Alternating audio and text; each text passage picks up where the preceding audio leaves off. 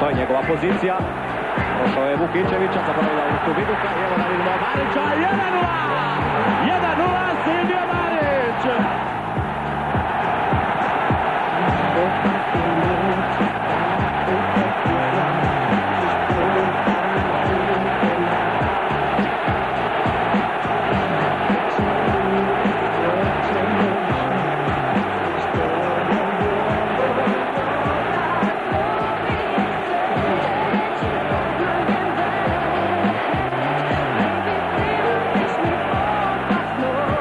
Rodri na volta da Zamoiti, na noite, ele é o que é da primeira.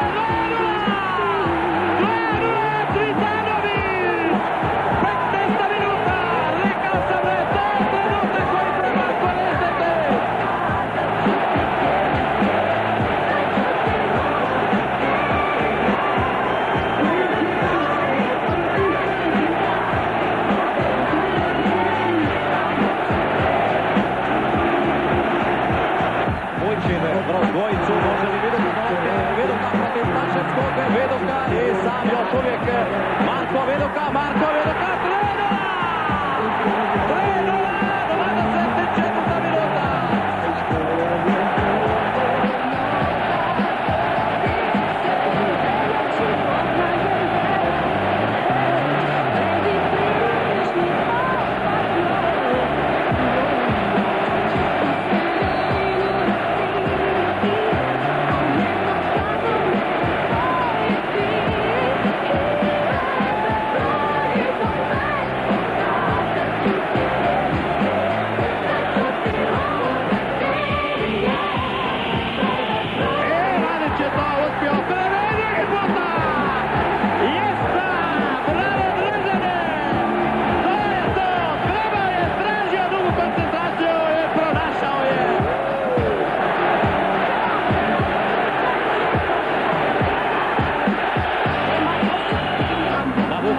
Trojicu na sebe Marić, ali stiže Svetličić, pa onda traje akcija dalje Cvitanović, Cvitanović, Marić u sredini,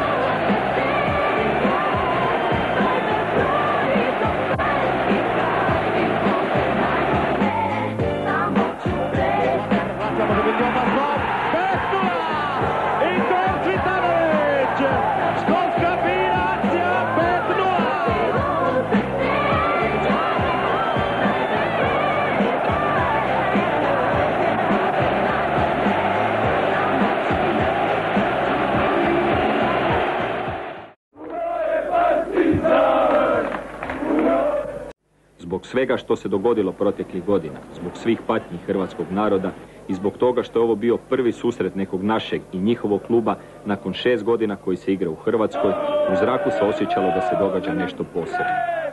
Već nekoliko dana prije utakmice na stadionu se mogla osjetiti pojačana kontrola. Provjeravao se svaki kutak. Na dan utakmice mjere osiguranja bile su vrlo jake u cijelom gradu. Ministar Penić izjavio je da je Ministarstvo unutarnjih poslova angažiralo 2550 ljudi, a na samom stadionu još je bila i redarska služba. Mora im se priznati da su izvrsno obavili svoj posao i da nije zabilježen niti jedan ozbiljni izgred. U svemu tome mnogo su im pomogli i sami navijači svojim doličnim ponašanjem. Navijači su se počeli okupljati u gradu rano popodne, te su najprije u manjim grupicama, a kasnije kao jedna velika rijeka krenuli pjevajući prema Maksimiru. Optimizam i vjera u uvjerljivu pobjedu isijavala je iz svih njih.